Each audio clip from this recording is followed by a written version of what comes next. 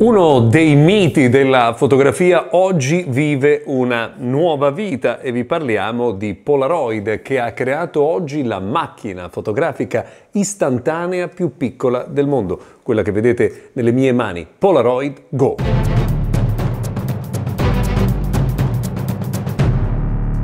Avete mai maneggiato una Polaroid per coloro che hanno festeggiato qualche compleanno di troppo, come me?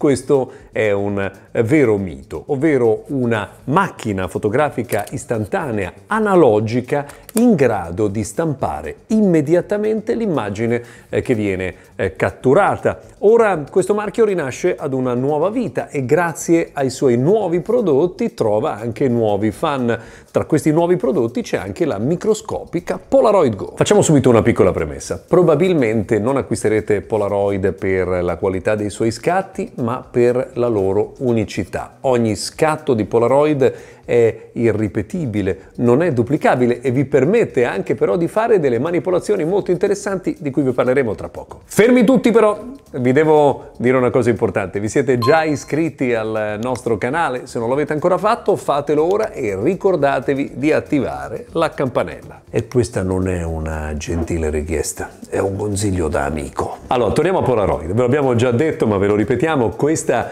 è la macchina fotografica istantanea analogica più piccola del mondo, con un formato delle immagini che è ridotto del 40% rispetto agli altri modelli in eh, circolazione. Ci sono molti dettagli da scoprire eh, di questo piccolo dispositivo, ma prima di farlo dobbiamo mostrarvi un video. Date un occhio qui. E a questo video bisogna rispondere no, non si fa non bisogna shake it like a Polaroid picture, non bisogna scuotere una foto Polaroid quando la si sta eh, sviluppando. È protetta infatti da un materiale plastico che rende inutile questo movimento perché non c'è alcuna interazione con l'aria, anzi si rischia di spostare i liquidi che sono fondamentali per lo sviluppo e quindi di rovinare il processo. Questo è il primo suggerimento importante che vi vogliamo dare per il mondo Polaroid. Altro suggerimento che vi vogliamo dare è quello che succede immediatamente dopo aver fatto uno scatto. Vedete questa lingua di rana viene definita anche in questo modo che protegge la vostra fotografia. Non rimuovete immediatamente la foto, lasciate per almeno 5 secondi, se sono di più ancora meglio, la vostra foto sotto la lingua eh, di rana, insomma sotto questa pellicola di protezione. Quando poi la togliete mettetela al buio oppure giratela verso il basso per completare il processo di sviluppo. grupo. Sulla confezione dei singoli pacchetti di pellicole viene indicato il tempo indicativo per lo sviluppo delle foto. Però con Polaroid Go eh, la cosa più interessante è che potete fare cose davvero molto carine, tra cui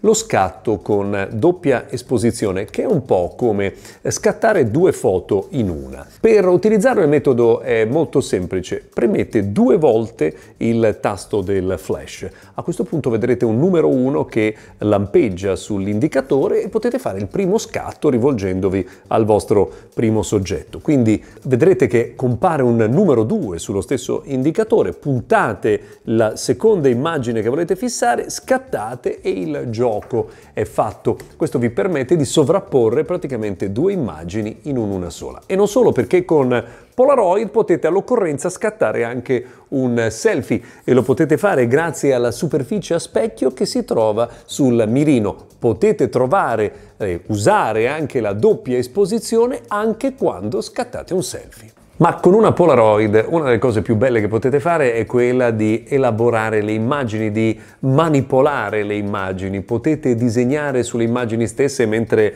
eh, le state sviluppando o anche dopo il loro sviluppo, potete separare la parte positiva eh, da quella negativa. Date un occhio al sito myinstantlife.it perché Alan Marcheselli ha un sacco di istruzioni e di suggerimenti per voi per le manipolazioni che potete fare con le foto che sono davvero molto divertenti. Ecco, se però mh, mm, per voi come mh, mm, per me questo tipo di interventi è un po' complicato, potete anche eh, deviare verso la versione più semplice, ovvero utilizzare gli stickers che sono all'interno della confezione che potete appiccicare sulle eh, varie fotografie per dare un tocco personalizzato. Quando dopo aver appiccicato un po' di adesivi e magari averli finiti vi sentirete pronti per il grande salto, allora date un occhio a myinstantlife.it per avere un po' di ispirazione sulle cose che potreste fare con uno scatto Polaroid. Polaroid Go è un oggetto davvero singolare e può regalare emozioni speciali perché sono